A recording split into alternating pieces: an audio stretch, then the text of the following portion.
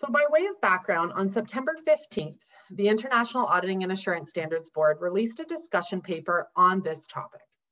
The purpose of their, of their paper was to get input from stakeholders on these topics as it relates to the role of the auditor in an audit of financial statements and whether the IAASB standards remain fit for purpose. The deadline for comments for this discussion paper was February 1st, 2021, and the Canadian Auditing and Assurance Standards Board issued their response after considering the feedback received from their consultations and outreach. Our outreach we conducted was two part. Part one focused on having targeted consultations with individual stakeholder groups in isolation, isolation, such as practitioners, management, audit committees, regulators, and users to get their detailed feedback on these issues. We held close to 15 targeted outreach sessions, ranging from individual interviews with members of the user community through to small group sessions with practitioners, regulators, and those charged with governance. The second piece of our outreach plan was a larger multi-stakeholder outreach that we hosted in November. The preparation for this session was leveraging the individual stakeholder input that we received through our part one conversations with stakeholders on these key issues. We used the multi-stakeholder format to ensure that we were getting a more holistic perspective rather than the views of any one group in isolation. And as I mentioned earlier, the input from the outreach was used by the AASB in informing their views in responding to that discussion paper. The concept of the expectation gap is one that has been discussed at length over years. The IAASB broke down that gap into three components. The knowledge gap being the difference between what the public thinks the auditors do and what auditors actually do the performance gap being a lack of application of the standards and regulations by practitioners. And finally, the evolution gap, which is what they perceive to be left over once you carve out the other two gaps. And this is really where the profession may need to evolve. We asked our stakeholders which of these subcomponents, in their view, was the main cause or driver of the expectation gap. The views we heard were varied. Generally speaking, most were of the view that the knowledge gap was an underlying driver of the expectation gap. They acknowledged that there is a lack of understanding by financial statement users of the roles and responsibilities of each party within the financial reporting ecosystem, including the auditor. As it related to fraud, in addition to the knowledge gap, some stakeholders felt the performance gap was also a main driver. These stakeholders had the view that there are instances in which the auditor is not fulfilling the audit standard requirements or that the audit standards around fraud were not robust. It, it, was interesting to note, however, that this was the view of all stakeholder groups other than the practitioners. And for the evolution gap, the majority of stakeholders felt that evolution in the auditor's responsibilities was needed in response to the ever-changing tools and techniques used by fraudsters. As it related to going concern, outside of the knowledge gap, stakeholders felt there was less need for the auditor's role to evolve than there was in, in the case of fraud. They emphasized that it's important not to ignore the role of other parties, particularly management who holds responsibility for completing the going concern assessment. Overall, when we take a step back and reflect on the views that were shared, while the views may have varied, there was one underlying theme, underlying theme from all of the discussions.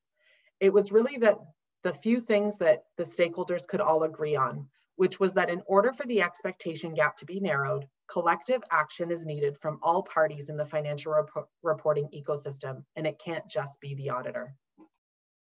So in the IAASB's discussion paper, um, they provide or discuss some possible enhancements that could help to address the expectation gap as it relates to fraud. And so we'll talk about five of those enhancements. The first one being increased use of forensic specialists or other specialists in the audit. So the suggestion here is that requiring the use of forensic specialists in the audit more broadly uh, will help, help, will help to strengthen the audit procedures uh, that are conducted in respect to fraud. And so in our outreach, um, stakeholders felt uh, supported this option, but in part. Practitioners agree that involving forensic specialists um, will enhance or could enhance the audit procedures, but uh, especially since they do struggle sometimes in order to address fraud risks of what procedures may be appropriate. Um, however, practitioners cautioned um, that involving forensic specialists in every audit may not be appropriate. They like the flexibility that's provided in the extant standard, uh, where this decision is left to the practitioner's professional judgment, and uh, rather than being mandated. And they feel that that continues to be appropriate.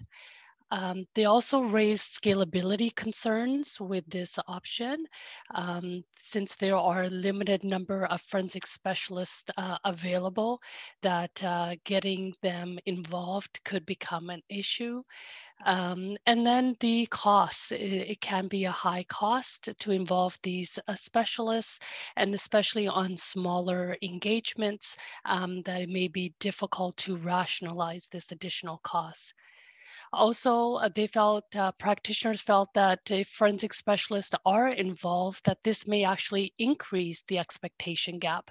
They believe that, um, you know, um, users may believe that a forensic audit was conducted when it's not. Regulators were the only um, stakeholder group that supported involving forensic specialists more. Um, they believe that there's a number of specialists that are involved in the audit currently, and so this is an added area where uh, expertise should be utilized. Another enhancement uh, discussed in the paper is additional focus on non-material fraud. So currently the fraud standard ISA 240 requires the audit auditor to evaluate each identified misstatement for whether it's indicative of fraud. Um, so questions have been raised as to whether the auditor needs to do more in relation to or identifying non-material frauds. And here in our outreach, stakeholders did not support this option. Um, they reinforced that preventing, detecting, and investigating fraud really is the responsibility of the entity. Uh, the extent uh, requirement for the auditor to evaluate all misstatements for any indication of fraud that they continue to be appropriate. Uh, stakeholders also recognize that it would be inappropriate to expect the auditor to conduct audit procedures to identify non-material fraud, since this does not align with the objective of the audit.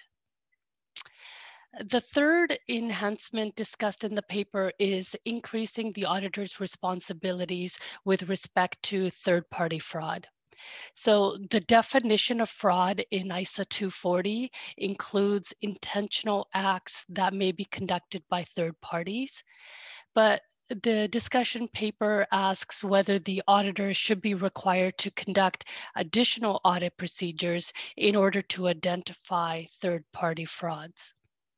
So stakeholders once again did not support the, exploring this option further. Um, practitioners believe that the requirements of the extant standard adequately consider risks of third-party fraud as part of the risk assessment and the fraud assessment process. Um, those charged with governance uh, were the only stakeholder group that uh, supported exploring this um, exploring this further. They believe that uh, there is an increased risk of third-party fraud, especially due to the business environment right now, um, due to COVID and the increased use of technology. Um, so therefore, additional focus by the auditor on this risk area should be required. The fourth enhancement uh, was enhancing quality control requirements. So right now, specific quality control review procedures related to fraud are not explicitly required, but in some jurisdictions like Japan, they have implemented additional quality control uh, review procedures related to fraud. And um, so here in our outreach, we heard the stakeholders felt that additional research is needed um, and really to understand whether this option would result in uh, the desired uh, changes in behavior. Um, practitioners were cautious to add another checklist type of procedure um, And so evidence is really needed to demonstrate that there would be a positive impact on the auditor's ability to identify or address fraud risks in the audit. Practitioners recognize that enhancements in this area would be or could be easier to um, implement um, because the process exists right now uh, rather than trying to create a new process. Regulators were also supportive of this option um, since the framework already exists and the procedures could be targeted based on the fraud risk profile of the entity. And lastly, um, the enhancement of whether the auditor should have a suspicious mindset uh, when conducting the audit the discussion paper recognizes that merely asking the auditor to be more skeptical um, will not drive the behavior change that's needed. Um, and so hence, should the auditor really be having more of a suspicious mindset when they're conducting the audit? Um, for this enhancement, we really heard no support. Um, stakeholders struggle to understand, you know, what is meant by suspicious mindset and what that would entail. Uh, there was concerns that having this suspicious mindset would mean a greater burden of proof in trying to collect audit evidence um, or lead to onerous information demands um, for entities. And really, the suspicious mindset um, could lead to an adversarial relationship between auditors and clients, and uh, you know would not be conducive um, to a healthy relationship. Stakeholders supported um, the concept of professional skepticism, um, but they understand that practitioners sometimes struggle with how to apply this. So they felt that greater guidance or educating auditors on how to implement professional skepticism better would be better warranted. During our outreach, we also heard feedback about ISA 240, um, and uh, there were some concerns raised regarding several of the sections or requirements within the standard. The first one really being the rebuttable presumption related to uh, fraud risks over revenue. Um, practitioners questioned whether this presumption continues to be appropriate. Uh, some practitioners believe that undue time is spent on this when it's not always relevant to the nature of, of the business or given the nature of the entity. And on the other hand, regulators were concerned that auditors are rebutting this presumption too often, that in 25% of you know, audits, it is rebutted and they felt that this was um, a little high. The second one was the unpredictability of audit procedures.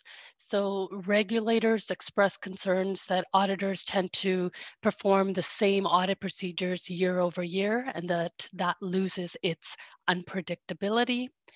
On the other hand, um, practitioners were concerned that if the standard um, provided a list of procedures, that that would negate, um, you know, the unpredictability of, of the procedures. So there really does need to be a fine balance. Third was around the nature and extent of journal entry testing. So feedback from stakeholders suggested that some auditors um, don't understand the purpose of journal entry testing and how it fits into the overall approach for identifying and addressing fraud risks. So stakeholders also believe that the standard could be updated to recognize the uh, use of audit analytics and how that uh, fits into journal entry testing. And lastly, uh, the appendices that are in ISA 240, stakeholders felt that they could be updated to uh, better reflect current business practices.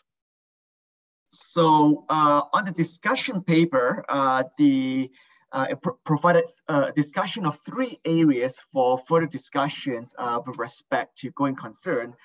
Uh, the first one being uh, the time period for going concern uh, really deals with whether the International Audit Assurance Standards Board should work with the International Accounting Standards Board and other accounting standard setters uh, to determine whether uh, the going concern assessment should be extended beyond uh, a normal practice of 12 months. Uh, the second uh, area of exploration was uh, co other concepts of resiliency. So taking a more holistic uh, view of an entity's ability to adapt to adverse circumstances, uh, as opposed to a, a, mere pure determination of whether it could survive. And the third area was just really looking uh, in, at the term material uncertainty relating to going concern. What does the term mean? Uh, and so with the first one, uh, extended the time period for going concern assessments, uh, the, uh, the discussion paper sort of talks about how most accounting frameworks uh, require going concern assessment based on the business uh, cycle. Uh, and 12 months is, is, is a period that's most frequently used because it's often tied to things like funding cycles, re reporting cycles, like uh, I guess Laurentian University's uh, funding, uh, normally done on a 12 month basis. Uh, so it sort of asks the question as to whether uh, the uh, Audit Assurance Standards Board should work with the accounting standard setters to explore whether to extend the time period for assessing going concern. And the thinking is that management still has to go first. The accounting standards will require management to perform an assessment over a longer period of time. And the auditor would then evaluate uh, this longer uh, uh, management assessment. And what we have heard for this one is that there's very little support uh, for this uh, for further exploring this area. Uh, key reason being that it's hard enough to assess going concern for the next 12 months. Extending the time period would make most uh, uh assessments extremely unreliable. And I mean, if we look back 12 months ago today, I would say virtually all going concern assessment done 12 months ago uh, uh, uh, ago really would not have reflected what actually happened in the course of this 12 months. The second item on the uh, uh, other concepts of resiliency, uh, the uh, discussion paper of looked into other jurisdictions around the world uh, that has some status of initiatives on looking at the company's resiliency. So for example, in the UK, uh, in addition to just the normal short-term going concern assessment, uh, certain listed entities are also required to disclose longer-term resiliency. So things such as results of stress testing the company under various scenarios, etc. And what we have heard from uh, stakeholders on this second aspect was there is definite interest uh, in further exploration of uh, resiliency concepts. Uh, and we have also heard that the public sector uh, already has some guidance on looking at, uh, let's say, an entity's flexibility, sustainability, and vulnerability. Uh, but having said that, there is still also a lot of hesitancy in terms of stakeholders voicing actual support for any of the enhancements. really, stakeholders really just want to know more about how would such resiliency concepts look like uh, what exactly would management be required to assess uh, and how would auditors uh, audit such assessments. So this is, uh, I would say, some early stage exploration, uh, but this is probably definitely an area that I think would be of interest to many stakeholders, uh, including regulators and, and such. The last uh, item uh, area in the discussion paper, material uncertainty related to going concern, uh, many stakeholders have identified problems with applying the existing accounting standard dealing with material uncertainty. Uh, so it really includes like given the same set of circumstances uh, that cast uh, doubts on the company's ability to continue as going concern, different people reach different conclusions as to what material uncertainty on going concern is triggered. And this inconsistent interpretation obviously have quite significant ramifications on disclosures in the financial statements as well as in the auditor's reports. And I think this concern is really consistent with the comments that we heard just now about crying wolf. Uh, some people, when do we cry wolf? Is it uh, too early? Is it too late? And uh, there was actually some good suggestions from stakeholders uh, that included, so perhaps supplementing this material uncertainty on going concern disclosures with other disclosures. So sort of more of a disclosures of a spectrum of going concern risk that the entity is facing. Uh, so there were some suggestions on, on, maybe perhaps how to address this. The last item I want to talk about uh, is something that's outside of the discussion paper, but there were other suggestions uh, uh, that we heard from stakeholders on how auditors could enhance the ability to identify and assess going concern risk under the current uh, uh, accounting as well as uh, auditing standard before things really go wrong. And so some of the suggestions on how to maybe better identify such indicators include uh, more in-depth understanding of the entity and its environment.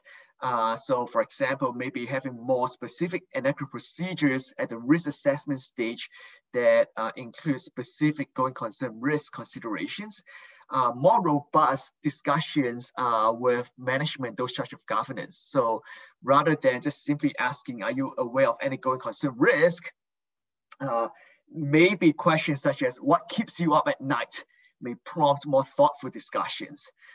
And lastly, uh, and another suggestion was uh, perhaps quality uh, control system at the firm level could be enhanced. So maybe uh, having policies and procedures to monitor news for potential going concern risks uh, that may impact the firm's client uh, portfolio. So these are some of the suggestions that we have heard